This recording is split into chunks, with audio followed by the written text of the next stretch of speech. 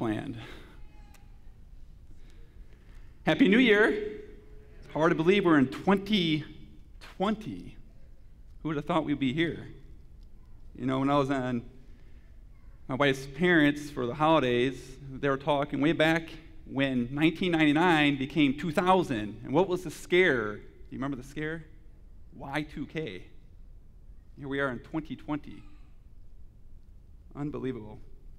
Well, we're one year closer to Jesus' coming. That's one thing for sure. And I just want to wish everyone here happy Sabbath. As Lori and I were traveling out to Owego, New York, to spend time with her parents this holiday season, we got to see some wildlife. One such animal we spotted on our long journey, maybe about an hour away from her parents' home, was one of the great birds, the bald eagle. Fact, what we spotted was two bald eagles. So I did a little research on bald eagles. I discovered that one of their primary food sources is eating fish. I also learned that they are capable of living up to 40 years in the wild. Furthermore, they are monogamous and remain faithful to their mate until death. But one of the most amazing things that these birds are especially renowned for is their excellent eyesight. Eagles have two foveae, or centers of focus, in the retina of each eye that allows them to see both forward and to the side at the same time. Our retinas, as humans, have only one foveae. Depending on which way the eagle looks, the lens of its eye focuses an image on one foveae or the other. The rear foveae is for seeing forward, and the other is for looking sideways. Both foveae are more densely lined with rods and cones than those of human eyes, giving them much greater resolving power. They also have eyelids that close only during sleep. For blinking, though, they have an inner eyelid called a nictitating membrane Every three to four seconds, the nictitating membrane slides across the eye from front to back, wiping dirt and dust from the cornea. Because the membrane is translucent, the eagle can see even while the membrane covers the eye. So they have constant sight. Eagles have color vision as well. And even though their eyes are smaller than our eyes, their sharpness is at least four times that of a person with perfect vision.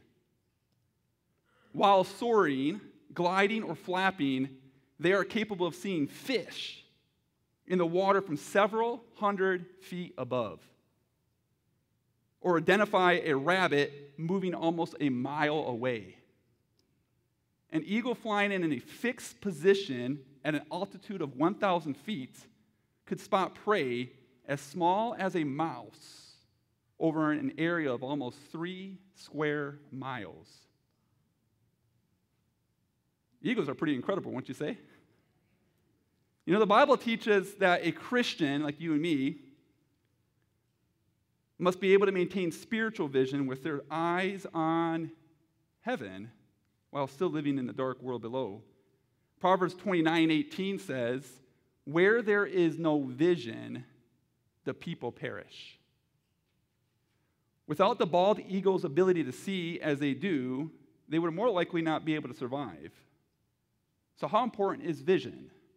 Better yet, how important is it to have the right vision? We see how important it is for an eagle to have the right kind of vision. So, how about you and I? Let's pray. Heavenly Father, we need you. We need you more than we realize. 2020 is just begun and we don't know what is ahead of us. Lord, we don't know if we'll make it through this year, or if we do, what type of state we'll be in. You see all. And so, Lord, we're looking to you for help, for grace, and for strength to have the right vision for 2020. So, Lord, as I am here before your people to speak, I realize my words can't do anything. Your word is the only thing that can do the impossible. which is change a sinner's heart, of which what we need, Lord. We all need it. So speak to us this morning. Hide me behind the cross. And if there be any sin in me, Lord, I pray now that you'll cleanse me of it, that the message that you have will not be unhindered. It's my prayer in Jesus' name. Amen. Here we are after Christmas and New Year's. Where's the focus of the world and of society? What is important to the peoples of this world? Our society has just come off of Christmas with buying this and buying that. As a result, many are consumed with getting things. For some, it is the accumulation of money so they can have security for the future. With others, it is pleasure seeking, with doing this or seeing that. And then there is politics.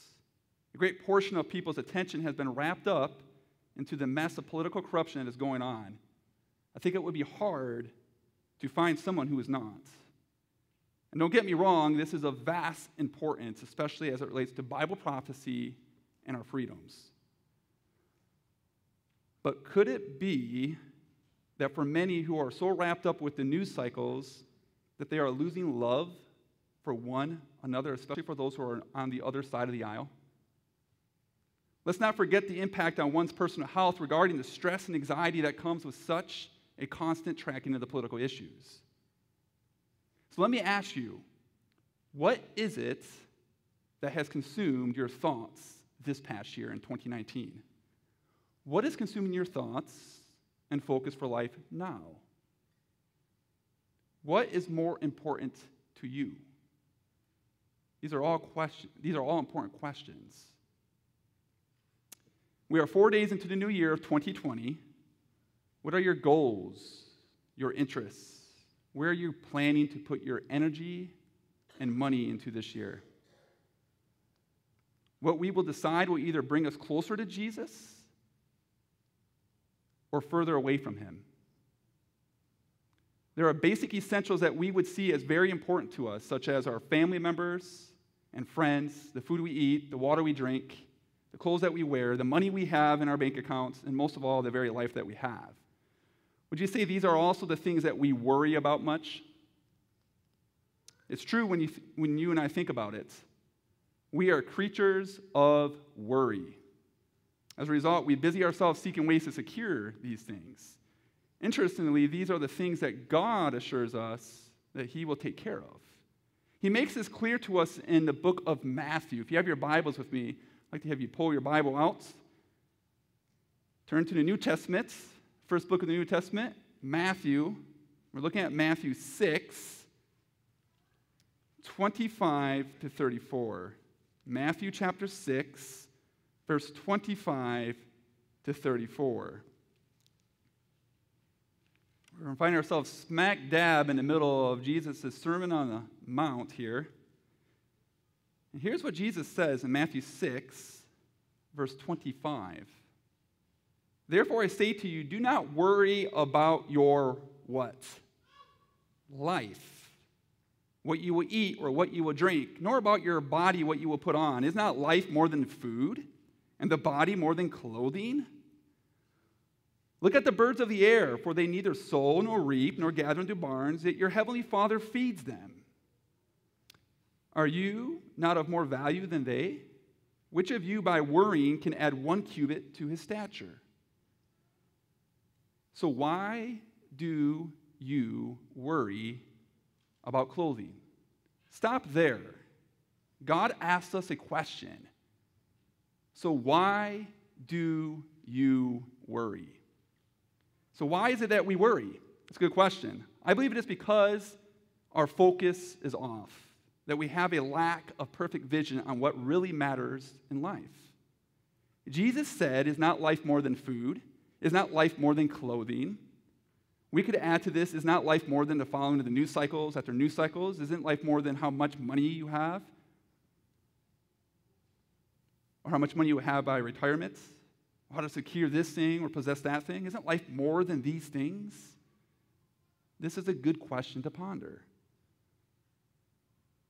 What does Jesus say to us in this season of your life? Let's read it here in Matthew chapter 6 verse 30. Matthew 6:30 says, Now, if God so clothes the grass of the field, which today is and tomorrow is, thrown into the oven, will he not much more clothe you? Translation If God takes care of the little birdies and eagles, will he not surely take care of you and all that worries you? And because he will take care of these things that concern our life, what does he tell us in 2020 that should be our focus and the most important to you and me? Matthew 6 33. Matthew 6 33. But seek first what? The kingdom of God and his righteousness. And all these things, the things that he talked about food, clothing, whatever else you can add there, shall be added to you. Isn't that good news, friends? God says, I'll take care of what is important for your livelihood. You seek first the kingdom of God and his righteousness. So, what is it that should be the most important focus of my life and your life? What will give us perfect vision for 2020? The Bible says, seeking the kingdom of God and his righteousness. Seeking the kingdom of God and his righteousness is a constant fight in our world and in our flesh. We are geared to focus on the temporal things that concern our life instead of the true meaning and purposes in life, which is God and His kingdom. Now, I thank the Lord for my wife, Lori. She's a jewel to me and my, and, and my kids. Her patience with Lily and Nathaniel and her care for them is unparalleled to mine. And she is full of neat ideas. One such idea just recently that she came up with in collaboration with her mother was how do you provide a way to point the kids to the true meaning of the season and not get lost in the accumulation of toys. You know how it is for those who have kids? They purchased something called Shepherd on the Search. It started on the last day of November, on November 30th. Lori put one gift out for the kids to open up. When they discovered that gift and they opened it up, they found inside a shepherd and a neat little book about the shepherd's search of the one important gift Jesus Christ, our Messiah. The story later went on to describe how the shepherd was going to help them to not miss that one true and important gift to them. How was it going to happen? The shepherd would be hidden each day until Christmas, and they would have to seek the shepherd out. Once they found him, he would have a Bible passage with him that will lead them to doing acts of kindness or learn spiritual lessons to engage them to connect with the Christ of Christmas. I thought it was ingenious. How did this complete, now, did this completely take away their attention from toys and such? Not entirely, but it did do something to impact Lily and Nathaniel's life in seeking for the kingdom of God and his righteousness. You know, we adults are just like my kids. It's just our focus is diverted by bigger toys and things that we seek after. And you know, we need similar help to not lose the true focus of life. We all need someone like that shepherd to help us to seek that which really matters. Speaking about searching, let's examine three parables that Jesus gives in his word that will help us to have our vision in the right direction. Our scripture reading was in Matthew, you remember? 13. Let's go there. Matthew chapter 13, shouldn't be far from there. Matthew 13, verse 44 and 46. In Matthew 13, verse 44, it says, Again, the kingdom of heaven is like treasure hidden in a field, which a man found and hid. And for joy over it, he goes and sells all that he has and buys that field. Again, the kingdom of heaven is like a merchant seeking beautiful pearls, who, when he had found one pearl of great price, went and sold all that he had and bought it. Some of you are very familiar with these parables. It's pretty interesting, you know, you find this parable here, and you, in our modern day, who finds a treasure in a field? This was common back in Jesus' day. They didn't have bank accounts and banks like we do today. So if he had something that was very important and precious, you would have to try to find ways to secure it and keep it out of the hands of those you don't want to have it. So you would go and bury it in some secure place in the field. Well, what would happen is sometimes that person who put their treasure in the field, maybe they would die or something bad would happen to them or they'd lose their land. and the land would just go to plants growing and weeds and all that. And then before long, somebody else would be maybe walking across the field and maybe dig around and find there's a treasure. But it's not his field. So he has to quickly find another place to bury it and find means to get that field. Now, his family may look at him and be like, What in the world is my brother doing trying to buy that desolate field? What is the value of that? Why is he going to liquidate all his life savings to buy that field? What they don't know is that there's a hidden treasure in that field. And so, as the parable says, he liquidates all that he has and buys that field to gain that treasure. So, let me ask you a question Who is the person in the field? What's Jesus' point here? Yeah, I heard somebody say us. You'll be right. It is us. Who is the merchant man? It's us. So, who would be the treasure and who would be the pearl? Come on, guys. It would be Jesus, right? It would be God. I've been reading through uh, my Bible, and uh, one of the things I've been reading is through the Conflict of the Age series. I don't know if you guys heard that terminology, but that usually um, is what is said to cover the five books that Ellen White wrote that covers basically the commentary of the Bible which is Patriarchs and Prophets, Prophets and Kings, Desire of Ages, Acts of the Apostles, Great Controversy. Have you guys familiar with those books? What I've added to that reading is Christ Object Lessons, Steps to Christ, Mount of Blessings. And one of the books I'm reading through right now is Christ Object Lessons. If you have never read that book, I would encourage you to do it.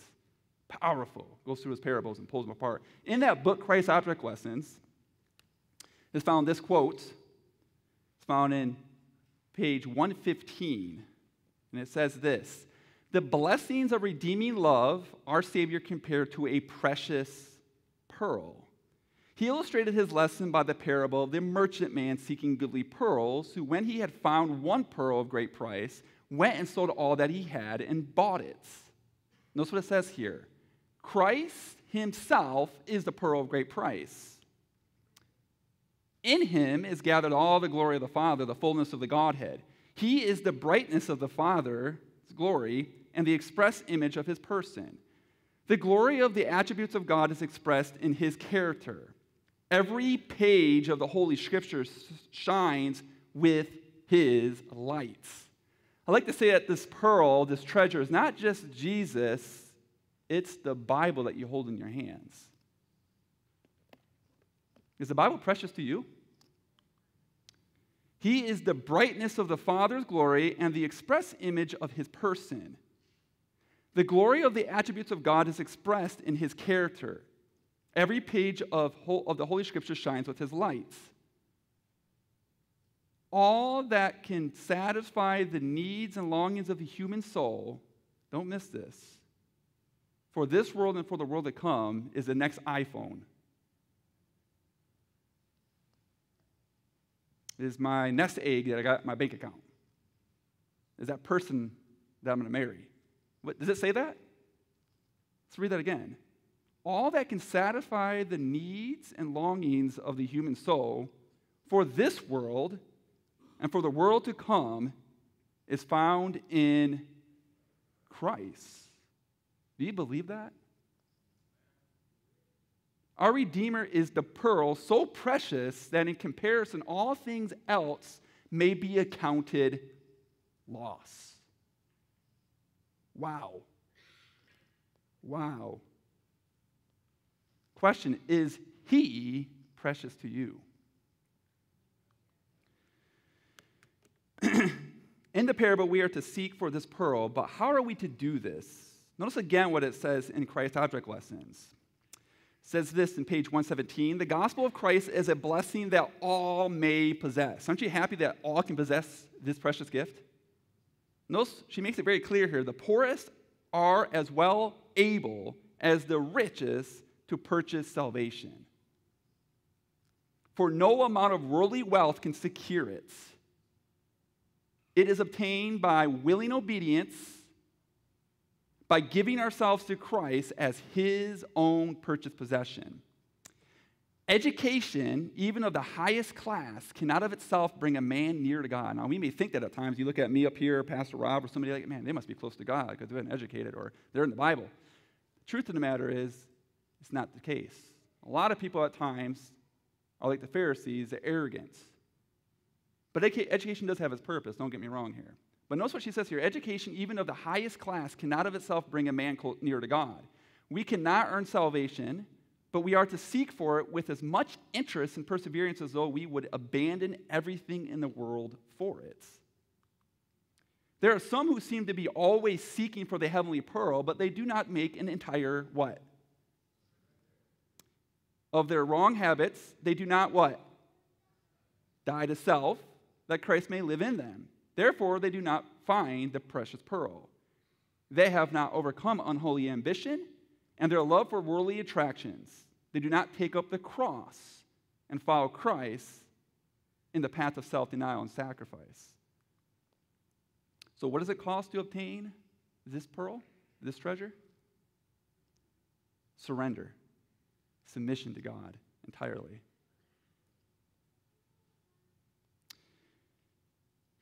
Now, the third parable we will look at soon. But let me ask you a question Who is really Seeking who? You might be asking, wait a second, you just spent this time talking about us seeking the, for the treasure, us seeking for the pearl. Of course, it's us seeking Him, seeking God, seeking a relationship with Him. But bear with me. Is it you seeking God, or is it God seeking you? In Psalms 139, it says this O Lord, what? You have what? Searched me and known me. Who has searched us? The Lord. Another one, you're familiar with this one, Luke 19:10. For the Son of Man has come to what? Seek and save that which was lost. Now don't miss this. We are able to seek him because he has made himself known by seeking us. In fact, if God was not out in the open seeking after us, we would never be able to find him. Reminds me of Genesis chapter 3. What were Adam and Eve doing? Are they seeking God? Or was God seeking them? So let's go back to Matthew 13 and let's relook at those two parables the hidden treasure and the pearl of great price. Matthew 13, it says again, verse 44 Again, the kingdom of heaven is like treasure hidden in a field, which a man found and hid, and for joy over, he goes and sells all that he has and buys that field. Again, the kingdom of heaven is like a merchant seeking beautiful pearls, who, when he had found one pearl of great price, went and sold all that he had and bought it. Let me ask you again who is the pearl? Who is the treasure? I heard somebody say Jesus Christ.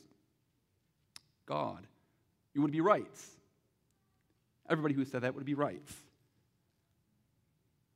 But let me read to you this other statement from Christ's Object Lessons. Page 118. The parable of the merchant man seeking goodly pearls has a what? Double significance. It applies not only to men as seeking the kingdom of heaven, but to who? Christ as seeking his lost inheritance. Christ, the heavenly merchant man, seeking goodly pearls, saw in who? Lost humanity, the pearl of price. You know who that pearl is? It's you. It's me merchant man is Christ. She goes on to say this In man, defiled and ruined by sin, he saw the possibilities of redemption. Hearts that have been the battleground of the conflict with Satan and that have been rescued by the power of love are more precious to the Redeemer than are those who have never fallen. Wow. How precious are you to God right now? And you are of immense value. You are of infinite value. God looked upon humanity not as vile and worthless, He looked upon it in Christ, saw it as it might become through redeeming love. He collected, notice what happens here. He collected all. How much did he collect? All the riches of the universe and laid them down in order to buy the pearl. And Jesus, having found it, resets it in his own diadem. For they shall be as the stones of a crown lifted up as an ensign upon his land. They shall be mine, saith the Lord of hosts, in that day when I make up my jewels. That is something incredible. I have another passage for you, Psalms 23, verse 6. See what the Bible says about this. Surely what? Goodness and mercy shall what? Follow me all the days of my life. You know, when I think about goodness and mercy, I think of that rich young ruler who came up to Jesus and said, Good master, what must we do to be saved?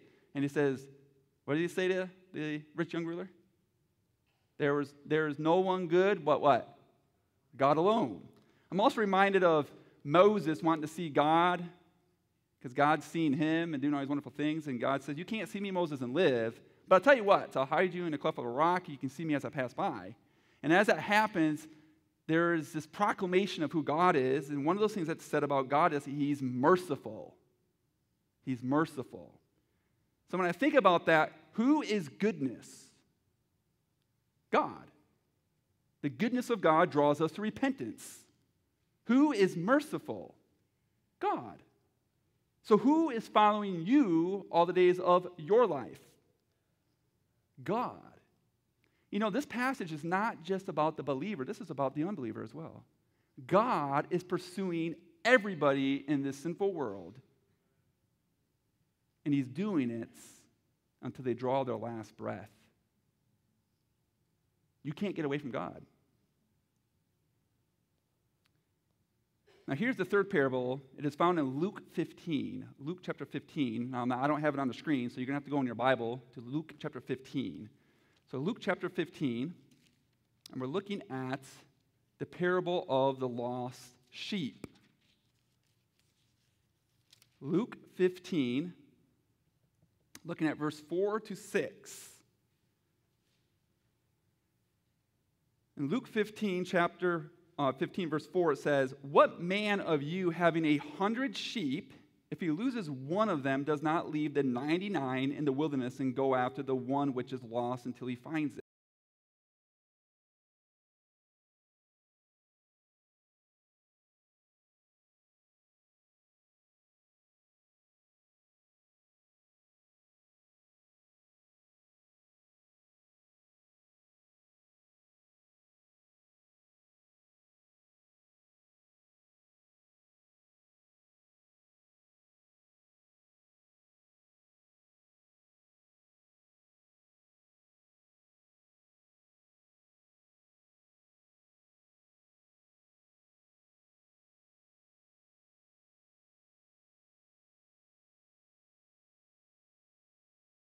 Are you seeking Him?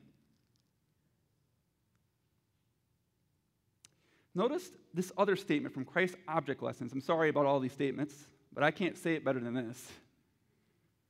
But in Christ Object Lessons, page 187, it says, As the shepherd loves his sheep and cannot rest if even one be missing. How many? Well, have you ever had some dollar bills or maybe a, a penny? oh, yeah, it's just a penny. Who cares? Oh, it's just one sheep. I got 99 of them. What is it? What's the use? Tells you how important the one is to God. As a shepherd loves his sheep and cannot rest if even one be missing, so in an infinitely higher degree does God love every outcast soul. Men may deny the claim of his love, they may wander from him, they may choose another master, Yet they are God's, and he longs to recover his own. He says, as a shepherd seeketh out his flock in the day, that he is among his sheep that are scattered. So will I seek out my sheep and will deliver them out of all places where they have been scattered in the cloudy and dark day. It reminds me of that passage in Romans Where sin abounded, grace much more abounds. There is no sin, bad habit, or addiction you find yourself in that God cannot save you from. That's good news.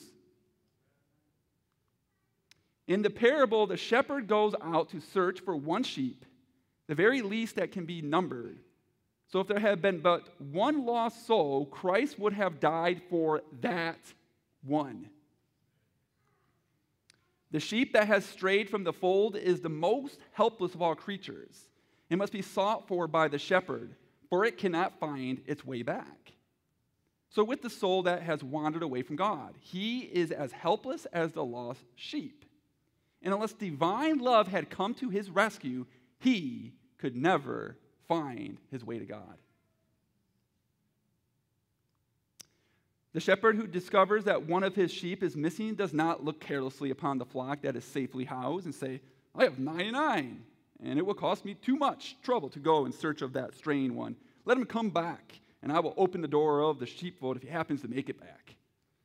Is that what he says? You know what she says? One sentence No. God does not think indifferently about you. And then it says this No sooner does the sheep go astray than the shepherd is filled with what? Grief and anxiety. For those parents out there who are suffering from children who are not walking with the Lord and you have that grief and anxiety, God feels your grief and anxiety. In fact, He suffers more than you do. He counts and recounts the flock when he is sure that one sheep is lost, he slumbers not. He leaves the 99 within the fold and goes in search of the straying sheep. The darker and more tempestuous the night, and the more perilous the way, the greater is the shepherd's anxiety, and the more earnest his search. He makes how much effort? Every effort to find that one lost sheep. God will empty all of heaven to make sure you're in the kingdom.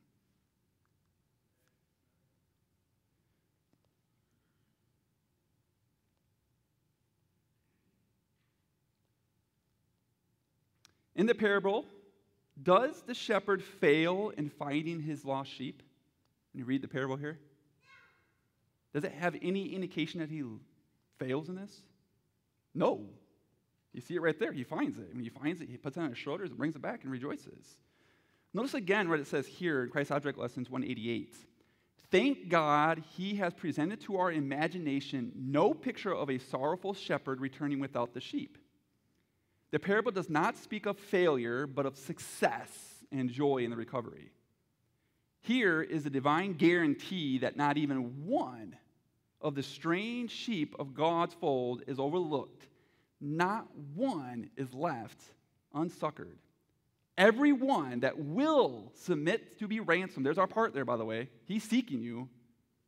But our part is to what? Submit to be ransomed. And notice what it says Christ will what?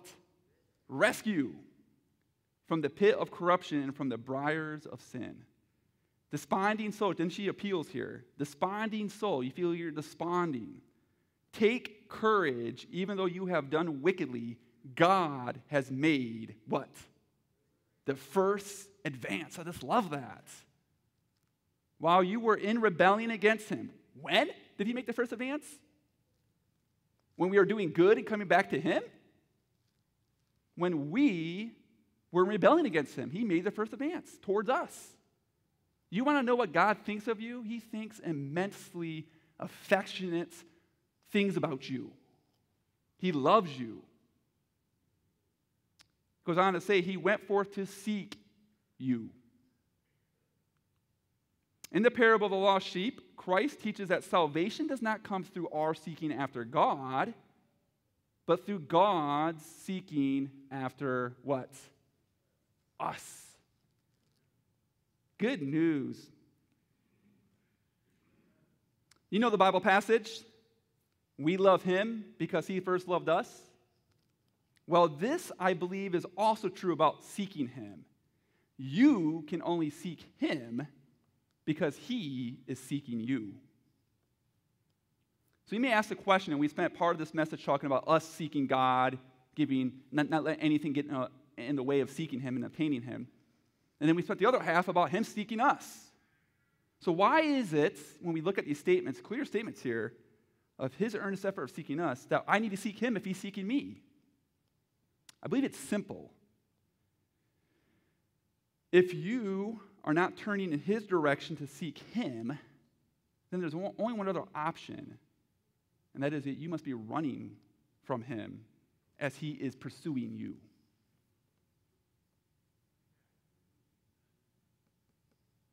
If you're not seeking Him, you got to realize here that God is running after you. He's trying to get to you. But if you keep running from Him and dodging Him, like, aha, you can't get me, He's a gentleman, and He's not going to get you against your will, but He will be on your track. And so God's like, Seek me, turn around and face me. I'm not after you to kill you or destroy you, I'm after you to save you. What is it that's distracting you in 2020 already? Is it worth letting that thing distract you? It won't satisfy your soul. All that is going to satisfy your life in this world and the world to come is found in who? Christ. Is Bible study important to you? Is seeking souls to win to the kingdom important to you? Is family worship important to you? Again, why is it that we are to seek Him when He's seeking us? Because if we're not seeking Him, we're running from Him. By you seeking Him with all your heart and all your energy, it will be to the degree that you allow Him to overtake you into His embrace. Don't worry, God won't get tired. How long will he be following you? All the days of your life. You can be running from him, you can be cursing at him, he'll keep on following you. Don't worry, you can keep hitting me and all that. I'm, I'm keep following you. So you see, God is a gentleman. He will not overtake you against your will. Your seeking after him gives God permission to overtake you. Will you let him? Notice how involved all of heaven is in searching you and I out that we may become heirs of salvation. Here's another one. This is from Christ Object Lessons, page 176. His pleasure is more in his people struggling with temptation in a world of sin than in the host of angels that surround his throne. Where's God's pleasure at? It's in you, more than the heavenly angels that surround his throne. Then it goes on to say this Remember, we're asking the question how much of heaven is involved in this searching? In this speck of the world, the whole heavenly universe manifests the greatest interest. Wow, if you're an angel up in heaven, what would you be focused on? With our carnal hearts, I think we might be focused on the golden streets and the, amazing, the amazing city and the special abilities I have. And why would I be focused on this little planet that's in rebellion against God? That's not the case. The, the whole heavenly universe manifests the greatest interest in this speck of the universe. Where's your interest? For Christ has paid an infinite price for the souls of its inhabitants. The world's Redeemer has bound earth to heaven by ties of intelligence for the redeemed of the Lord are here.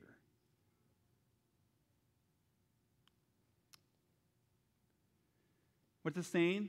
God is so, so, so very interested in us. As we conclude, let's consider how we can allow God to overtake us in this 2020 year. Here's the thing God is pursuing every single one of you, whether you believe or not. You know that opening hymn, More of Jesus? We need more of Jesus, my friends. We're still here. Have, are we going to let God overtake us more in our life than he did in 2019? So, how will we allow him to do that? Here are three practical imperatives for you and your family to pursue. Number one, daily Bible reading and prayer daily Bible reading and prayer. Don't let anything get in between your time with God on a daily basis. And in seeking his face in prayer. Do you remember that statement in Christ Object Lessons about Christ being the pearl?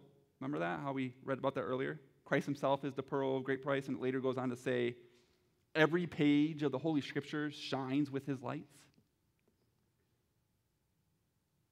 How important should this be for us in 2020? Should be the greatest importance for us. Number two, daily worship with the members of your family, even if that is just between you and your spouse. Very important. You know, you may have a marriage that's struggling right now. I can tell you one thing that will help it out. If you're not doing it, is family worship. There's nothing better than drawing close to Jesus in the storms of life, and especially together as a family. Our kids and our spouses need it. We need it more than ever. You look at society out there, it's not friendly. We need that family worship. Number three, look for ways to share Jesus with the unbelievers and or those who are struggling in their faith in your life through giving Bible studies. Look for ways to witness and share your faith. Another thing is getting involved in, in a ministry in this church or in a church office. Because it is an active service for God and to others in your life that you will grow in your devotion to seeking God's kingdom and his righteousness. These are the things I believe are very important practically in seeking God in 2020. We got some amazing things. We're going to be having a planning session happening, I believe, on January 19th. We want to plan as a church what we can do here in Battle Creek. We would love for you to be a part of that. We have 10 days of prayer starting next week. I believe it's on the 8th and it goes to the 18th. If you are wanting to have a closer walk with God, come on out. We're going to be here at the church. I believe it's at 7 o'clock at night. We'll give you more details and be a part of that. We got prayer meeting we're going to try to revitalize and bring back in January, end of January. Come out to that. These are ways of seeking God in 2020. And there's more. There's more.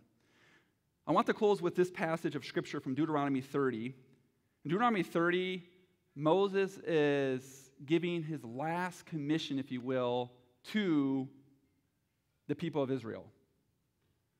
And they are just on the brink of the borders of Canaan. And Moses knows he's about ready to die. And these are some of the last words that he shares with them. In Deuteronomy 30, verse 11, For this commandment which I command you today is not too mysterious for you, nor is it far off. I believe Moses is communicating something to the Israelites that God is not somebody who's far off. It's not about you seeking Him. It is important. You need to seek Him. But it's about Him seeking you. For this commandment which I command you today is not too mysterious for you, nor is it far off. It is not in heaven that you should say, Who will ascend into heaven for us and bring it to us, that we may hear it and do it? And this makes me think of this, the reason of the season, Christmas and all that.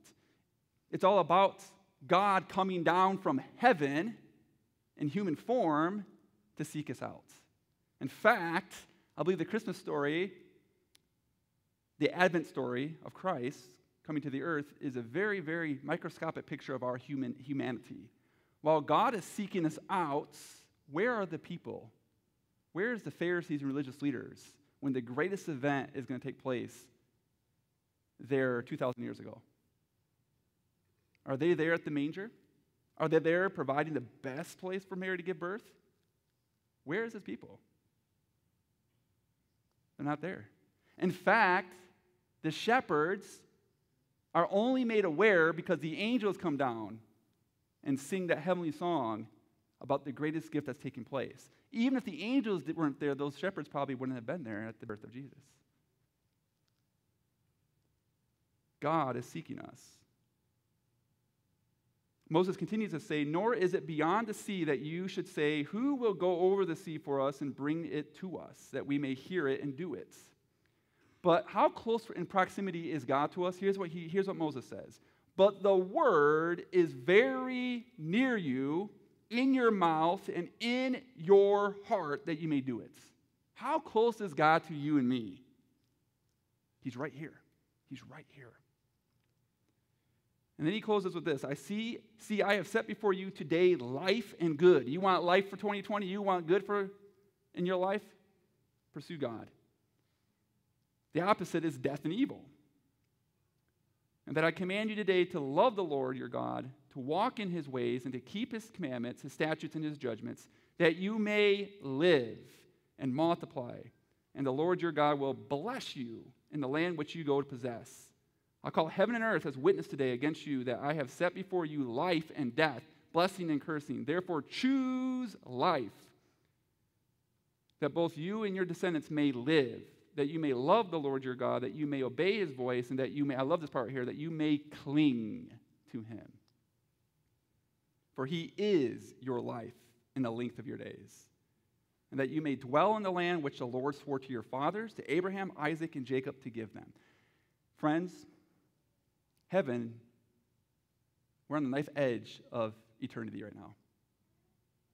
Heavenly Canaan is at our doorstep.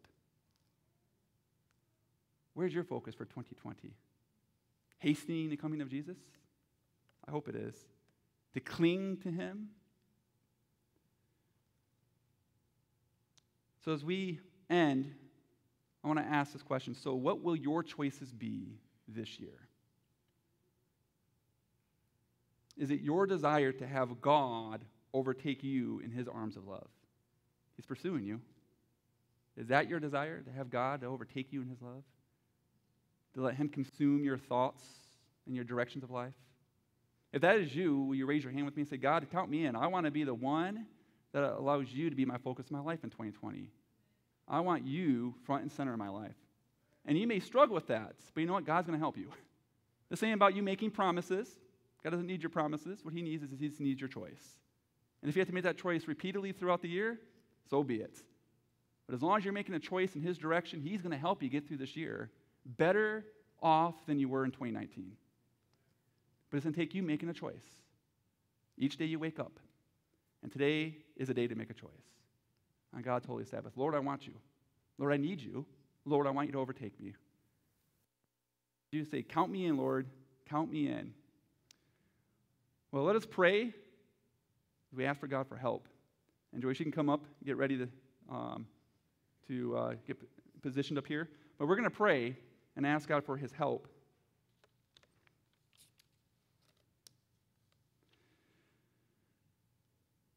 Heavenly Father, here we are, four days into the new year, 2020. There's many things, many things that Satan has prepared for us in this year to distract us, get our focus off, Lord, to not have the right vision, and to chase after other visions that He wants us to have. But you have a better vision for us. A vision, Lord, that moth, nor rust, nor corrosion can take away from us. And that vision, Lord, is what we don't see right now. For what we do see, Lord, will pass away, but what we don't see will always be.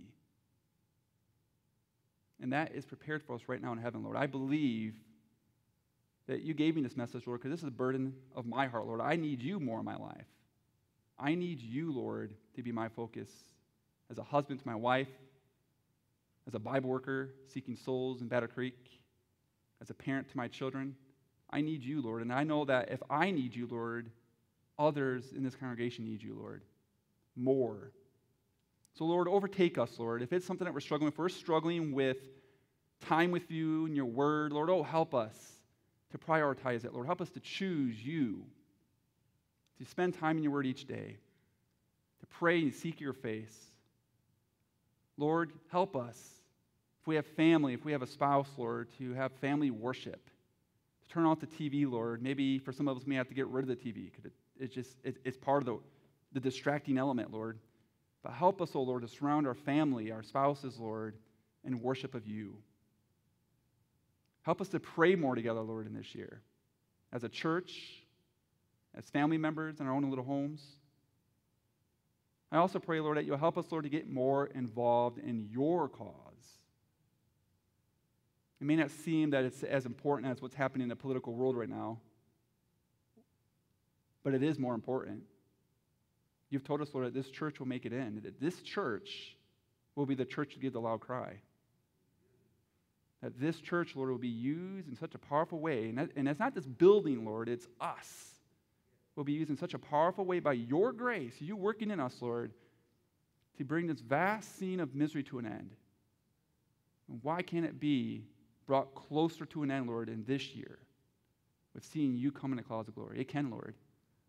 So help us, Lord, to seek after you as you are seeking after us. And we thank you, Lord, that you have made yourself visible, putting yourself out in the open that we can find you. We pray these things in Jesus' precious name. Amen.